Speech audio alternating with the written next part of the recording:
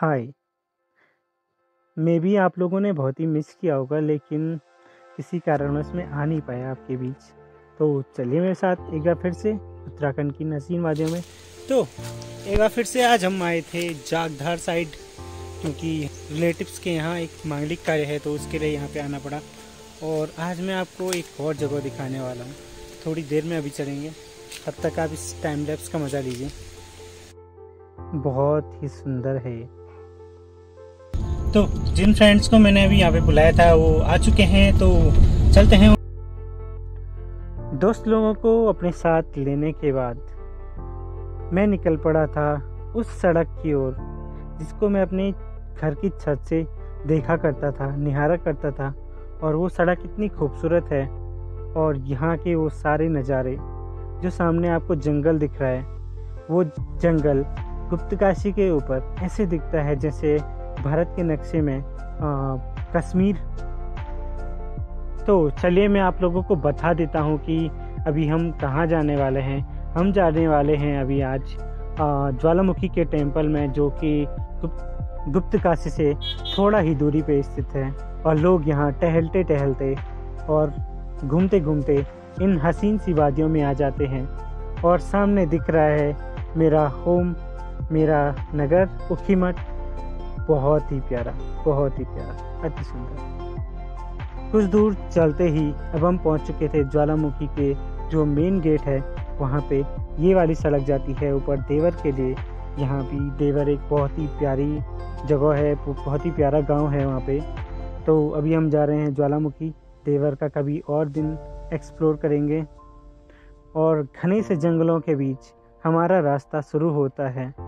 और ये ख़त्म होता है तब जब हमें दिखता है ज्वालामुखी का मंदिर का गेट और यहीं आप यहाँ तक सीधे सड़क से भी जा सकते हैं। पूरी गाड़ी जाती है मेन गेट तक।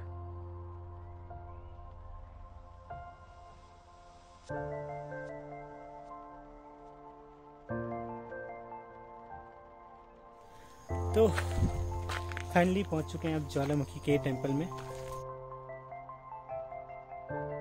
वाओ।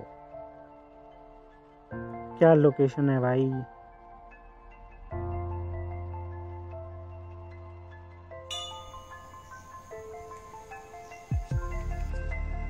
ज्वालामुखी का टेंपल जो है, वो है देवर और सांकरी वालों की कुल देवी। यहाँ पे सामूहिक पूजाएँ वगैरह होती हैं देवर और सांकरी वालों की।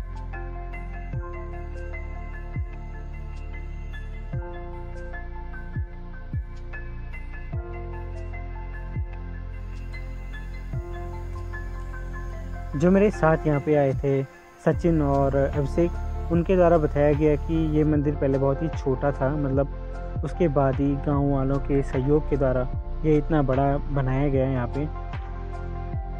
और बहुत ही भव्य मंदिर है यहाँ पे। तो इस छुपे हुए मंदिर की खोज करने के बाद बहुत ही अच्छा लग रहा है यहाँ पे। बहुत ही प्यारा मंदिर है और लोकेशन तो आप देख ही रहे हो। यहाँ से दिखने वाले गाँव हैं वहाँ पे। सामने से दिख रहा है हमें फौई फ़सल, द्वारा, लमगोंडी, सारे गाँव दिखते हैं। और ये रास्ते में से पुराने टाइम में जो गाँव वाले थे, उनके द्वारा भी यूज़ किए जाते थे एक गाँव से दूसरे गाँव के जाने के लिए। और ये जो सड़क बन रही है ऑल वेदर रोड है यहाँ पे, जो नीचे दिख रही है अभी, ये जो नीचे जा रही है, द्वारा से होते हुए। और इन पगडंडियों पे अभिषेक शुक्ला के साथ कुछ वार्ता करने के बाद। बहुत ही मस्त मज़ा आ रहा था यहाँ पे, बिल्कुल। ये जैसे मतलब ये खेल का मैदान टाइप है छोटा छोटा बहुत ही प्यारा है यहाँ पे। यहाँ वैसे बेसिकली वो लोग आ सकते हैं जिनको शांति चाहिए और शहर से थोड़ा सा दूरी है, ज़्यादा दूर भी नहीं है, गाड़ी यहाँ तक आती है। आप लोग यहाँ पे आ सकते हैं, ज्वालामुखी टेंपल के दर्शन कर सकते हैं और एक बहुत ही प्यारा बुग्याल जो पीछे पे है, वहाँ वहाँ का नज़ारा ले सकते हैं। वहाँ से आपको दिखते हैं बहुत सारे गाँव लमगोंडी हो गया, फिर नाग जगह हो गया, लोहारा का पूरा एरिया हो गया। अभी हमने सड़क देखी तो कैसा लगा आप लोगों को?